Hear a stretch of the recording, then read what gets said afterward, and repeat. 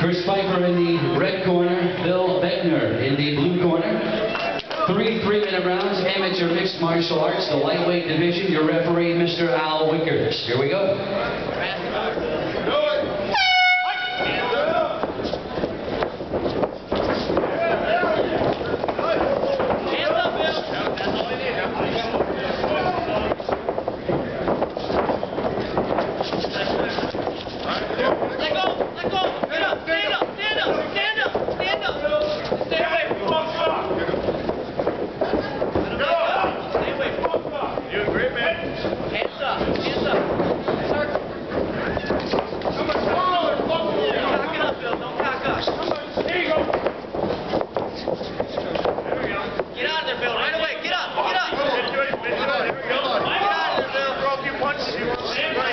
Put your hands in the left shoulder.